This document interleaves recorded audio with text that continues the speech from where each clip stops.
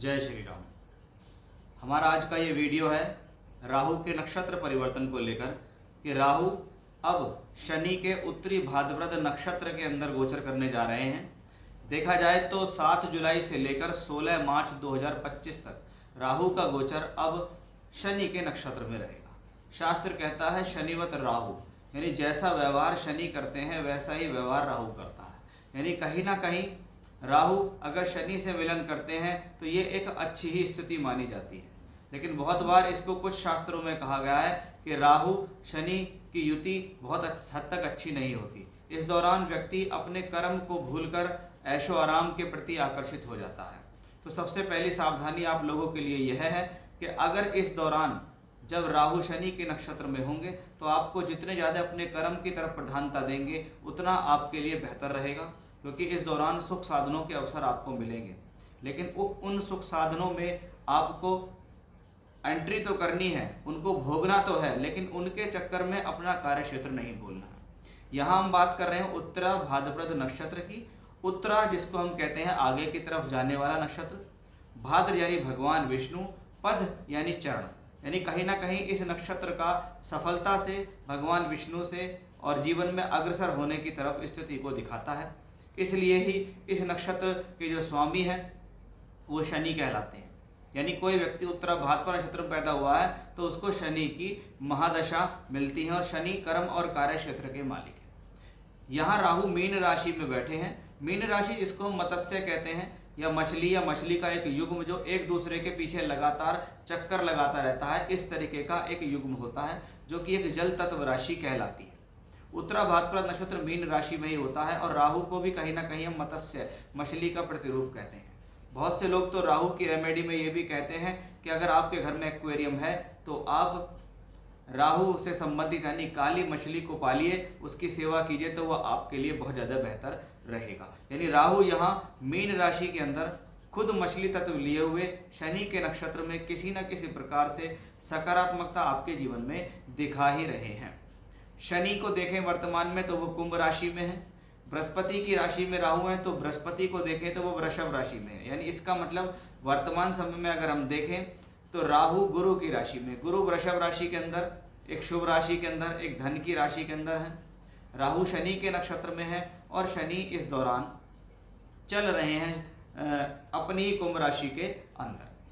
तो ये कहीं ना कहीं एक बेहतरी हम राहु के लिए कह सकते हैं। जब हम उत्तरा भाद्रपद नक्षत्र की बात करते हैं तो इसको हम कहीं ना कहीं कर्म से कर्म कार्य क्षेत्र से जोड़ते हैं क्योंकि ये कर्म का नक्षत्र है क्योंकि इसके स्वामी शनि है। आध्यात्म से जोड़ते हैं सफलता से जोड़ते हैं शोध से जोड़ते हैं क्रिएटिविटी से जोड़ते हैं। यानी जो लोग इनसे संबंधित कार्यों में आ, काम करते हैं उनके लिए शुभ हो जाता है। ऐसा ग्रह अचानक से फल देता है क्योंकि राहु का स्वभाव है अचानक से फल देना। और अचानक से फल व्यक्ति को तभी मिलता है जब वो जीवन में कुछ कर्म करता है और शनि कर्म के कारक है। इसलिए राहु का शनि के नक्षत्र में जाना किसी न किसी रूप से शुभ ही माना जाता है। उत्तरा भाद्रपद नक्षत्र के देवता के बारे में बात करें, क्योंकि वो तो हमने बताया कि उत्तरा भाद्रपद नक्षत्र में अगर कोई जन्म लेगा तो शनि की उसको महादशा मिल जाती है। लेकिन इसके देवता के बारे में बात करें तो इसके देवता हैं अहिर्बुधन्य। अहिर्बुधन्य जिनको एक सर्प से संबंधित जोड़ा गया, राहु को भी हम सर्प से जोड़ते हैं। ऐसे सभी जीव या जंतु जो रेंग रेंग कर चलते हों जीवन में।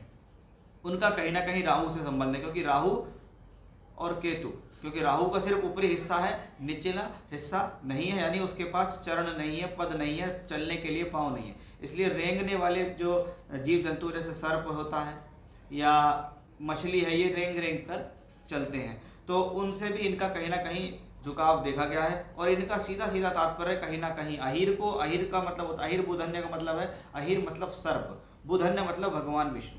यानी एक बात स्पष्ट है कि बार बार जब भगवान विष्णु का इसमें संपर्क दिखाई देता है तो ऐसी स्थिति में जब राहु शनि के नक्षत्र में गोचर करते हैं तो आप इस दौरान हनुमान जी की उपासना कर सकते हैं, आप इस दौरान शिव जी की उपासना कर सकते हैं, या जो भी ईश्वर, जो भी इष्ट सर्प को धारण किए हुए जैसे भगवान गणेश सर्प को बांधते हैं भगवान शिव गले में धारण किए हुए हैं, भगवान विष्णु सर्प के ऊपर लेटे हुए हैं। तो इनसे संबंधित देवी देवताओं की पूजा करने से आपको कहीं ना कहीं बहुत सकारात्मकता मिलती है।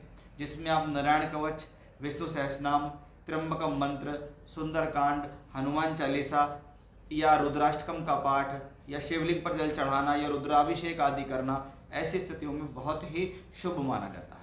अब हम देखेंगे कि आपकी राशि के लिए इसका क्या विशेष प्रभाव होने वाला है। जब राहु ग्रह शनि के देखते हैं कि मीन राशि के जातकों पर इसका क्या प्रभाव पड़ेगा। जैसा कि आप जानते हैं, आपकी राशि में राहु का ट्रांजिट चल रहा है।